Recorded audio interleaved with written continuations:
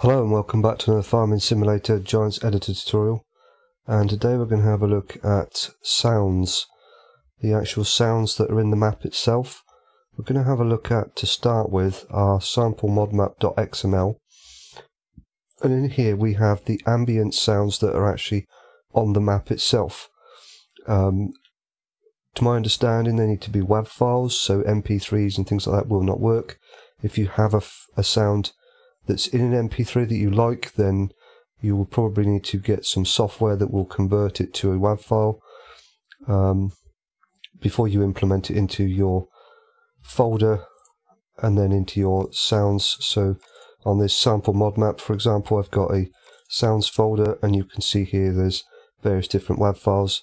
So if you were going to use a specific MP3, for example, then I would probably say the best thing to do would be use some sort of software that would then convert that MP3 to a WAV before you then put it into your folder and then import it into the map. And I will show you how to do that in a little bit. But to start with I'm just going to have a look at the actual XML here. And this may not be called sample modmap.xml on Thornton Farm I think it's called nustonfarm.xml you will need to have a look um, to see what your map your, your mod map has for its actual XML. Uh, if I open up Thornton Farm here, you can see that it's nustonfarm.xml, but you know you need to have a look on the farm that you're playing around with, or the map, sorry, that you're playing around with. Or if you're creating a map for the first time, um, then if you're working from a sample mod map, then this would be what you probably would see, and then you would have this sample modmap.xml. Um, if you're actually creating one yourself from nothing at all, um, not using a sample mod map that's already been sort of set out, if you like, then you would need to obviously create this XML yourself or take it from a different map and then adjust it to whatever you wish it to be. Now this particular sample modmap.xml is loaded via the sample modmap.lua again on Thornton Farm that would be nustonfarm.lua but for what again for whatever map you're working with, it, it could be called whatever the creator of that mod map has decided to call it. But if I open this in Notepad++ and scroll down, we can see here that the actual file is loaded there by the Lua script and it then comes across and gives us the XML that it's going to load into the base directory of the game. So that's how we get that into the game. And like I say, these are the particular standard generic sounds that you would hear on any particular given map that is using this type of setup. Now, if you wish to change these, um, I would highly recommend that you use your own folder to do it. So this structure, this path file name here, is actually pointing towards the base directory, the actual game directory. So if I go into my C drive here, Steam library, Steam apps, common, Farming Simulator 15. Then I've got data, maps, sounds, ambient. You can see these sounds are in that folder, the ambient sounds themselves. But this is actually in my Farming Simulator base game directory. So anything I change in here potentially could break my game especially if I happen to be playing in multiplayer. Now, I've not played around with sounds on a map before. This is the first time that I've actually taken a look at them because it's not really bothered me that much in the past. I've been asked by a subscriber to have a look at this and I figured, you know, why not? Could be quite interesting actually to see what it's all about. Um, but if I was going to actually change any of these sounds, what I would actually do is I would take my sample mod map like so and then go into my map folder, for example, and if I had a sounds folder, great. If I didn't have one, then I might create one. And in that folder, I would then put whatever ambient sounds I wish to have a play around with. Again, like it is set up for the base game, you've got a sounds folder and then another folder called ambient. So pot potentially you could copy that kind of setup and then create that ambient folder within this sounds folder in your mod map itself and then change the path file name in the XML here to point towards that folder and then obviously your ambient sound that you've decided to add into the map itself. That way you keep the structure of your actual base game directory intact. You don't change anything in here, and then you save a lot of hassles later on if it does indeed indeed break the game. Again, I can't say for sure if that's actually what would happen, but you know, to save you having to uninstall the game and then reinstall it again because of something as silly as a little WAV file, you know, could be quite annoying. So that's at least the way I would do it. So that's your ambient sounds and how they are controlled by the game for the entire map, what you will hear at certain times of the day, whether it be day, night, whatever else, um, and all the rest of it. So have a play around with that and see how you get on with that one. Um, but what I will actually have a look at here is the sounds in the map itself for certain areas of the map that I want to create, if, if you like. Now, again, on this particular map, it does actually have some different sounds, and I have already gone in here and turned the volume down on those particular sounds because they are, or were, extremely loud. So when I first did this video, or tried to do this video, it drowned out my uh, vocals completely, and even after I adjusted the sound down considerably with my editing software, it was still extremely loud. And if anybody was to listen to that original video with headphones on, I'm sure it would blow an eardrum. So um, I'm doing this for the second time round to give it another go and get these sounds somewhat lower in volume so that uh, that doesn't happen, obviously. So in my sample mod map here, I've got a folder called All You Need, and if you're using a similar sample mod map, then chances are it'll be structured in a very similar way, if not exactly the same. And if I open this up by clicking on the plus symbol here to expand it, I can come down to a folder called Sounds. And if I click on the plus symbol there and actually open that transform group up, I've got a various different sound files in here. And if I actually go up to the play, um, and I'm just going to turn down my sound volume so it doesn't give me any kind of um, feedback, you will actually hear the sounds that uh, these are allocated to.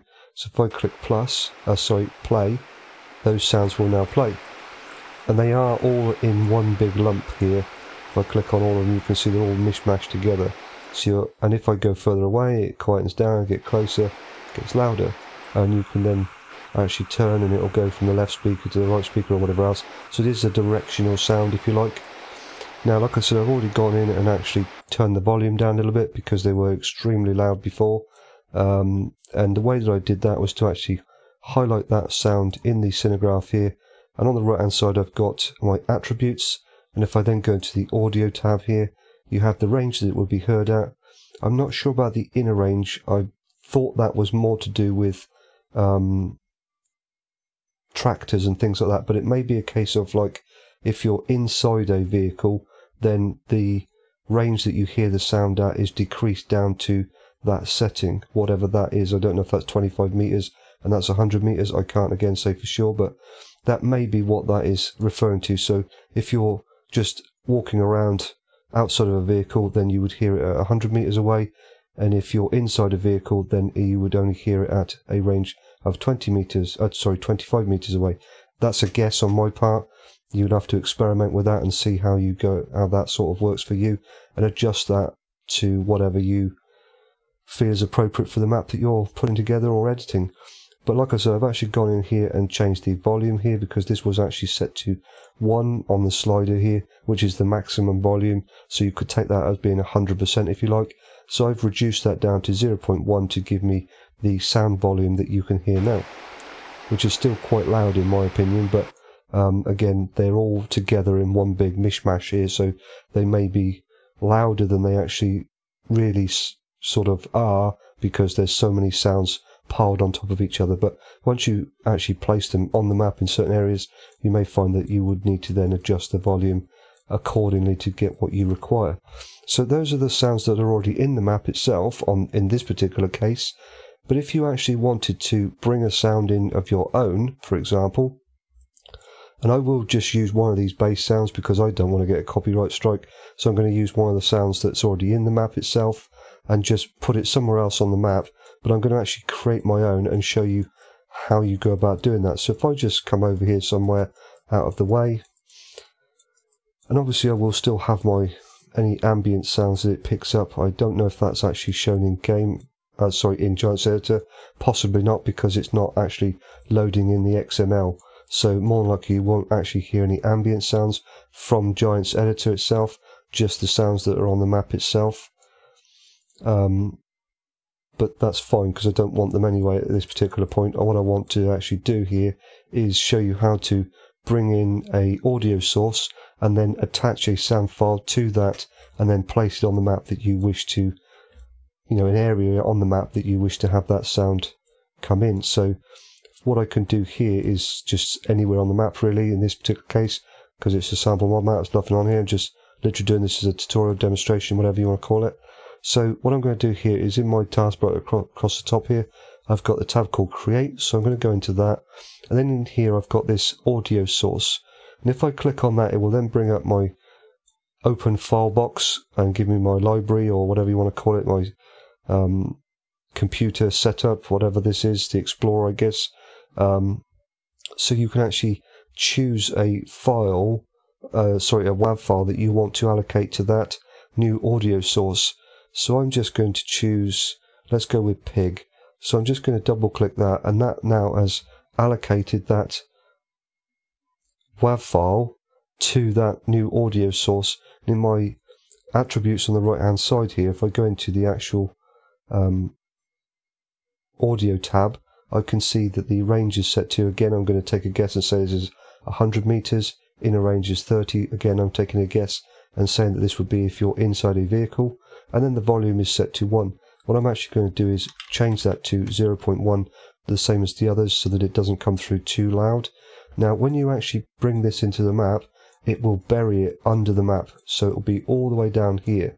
So just be aware of that. When you bring it in, you may find that you import it or you create, so you create the actual audio source, and when you're looking at it in here like this, in the Giants Editor session, you think, well, that's on the map. Why can't I hear anything?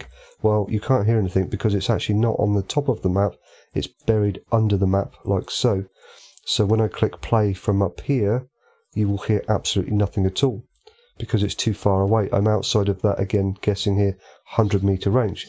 But if I go under the map and get closer to it, we will then start to hear it come through, like so. So I'm going to stop that now. What I'm going to do now though is actually bring it up onto the map itself so it's on the surface of the map. And the way I'm going to do that in this particular case is just use the interactive placement. So I'm just going to go edit interactive placement and place it. Now when I go down to it you can see it's actually on the map, top of the map. So if I go under the map it's not there anymore. So now it is actually on top of the map. So if you've had a play around with this before and you think you failed, you chances are you didn't actually fail in allocating the WAV file or the audio source, chances are it was the fact that the transform group was buried under the map and outside of that range for you to be able to hear it. And that confused you and you weren't sure exactly what was going on, so you then decided that it wasn't working, you failed, you didn't know how to do it, and you gave up. Or whatever, I can't say. But um, just be aware that when you actually create your audio source, it does actually create that under the map. So you will then need to obviously locate it um, and bring it above the map surface so that you can actually hear it in game if you like. So now when I press play again, it is now above the map and I can then hear it perfectly fine. And as I get further away, it gets quieter and so on and so on. So that is basically how you create your audio source within Giants Editor. Um, and again, this is going to be really on you to collect the sound file that you wish to add to that transform group. So you would either get it perhaps maybe from the internet or get it from, you know, if you're really keen, grab a recorder and go and record a cow or something in a field. Um, and then, yeah, just allocate that WAV file to the audio source as I showed you there, and then bring it up onto the surface of the map. And there you go, you've got your audio source into the map and then potentially into the game. Obviously, you'd need to then put this map into a game and double check that it does work. I'm not going to really do that because this is just to show you how that uh, how to get the audio source in, and I'm pretty confident that it would generally work. Um, I like I said, I haven't really played around with this too much, um, but uh, if it works here and it's showing it on the top of the map, there's no reason why it wouldn't uh, work in game. And the other ones certainly do work in game. The ones that are already on the map, and they're no different. They were created in no different way to what I've done here today. So yeah, that's how we play around with that. So you've got your, um, as I showed you before, your sample modmap.xml, whatever that may be called, for your ambient sounds that are in the game, and then how to basically change those by creating your own path file name in a different folder and then adding in the appropriate sound file in the XML itself, and then how to add in a sound of your own and creating the audio source within Giants Editor and then placing it on the map in a particular area that you want to have that sound activate. So that's it. That's how to play around with sounds and again how to adjust the volume, play around with your ranges. I don't know if this is 100 meters, I can't say, and I have not, I'm not entirely sure if that is inside a vehicle or outside a vehicle. The inner range one I'm not entirely sure about. I would probably say logic for me would be that inner range would be inside a vehicle. It's quieter, so it gets quieter at a lesser. You know, you don't. Uh, you, you know, again, taking this as meters. So outside you'd be able to hear it from further away because you've got nothing blocking you, no windows, no doors, no nothing like that. But inside a vehicle you'd have obviously glass and whatever else. So this would represent that by having it in a range. So inside a vehicle it would get quieter much quicker over a lesser distance than it would be if you were just walking around outside. That's my take on it anyway, but you would need to obviously experiment with that yourself and adjust these attributes in the audio section here to suit whatever works for you. And again, with the volume, you need to play around with that. Um, I've reduced these massively, like I said, because they were really, really loud.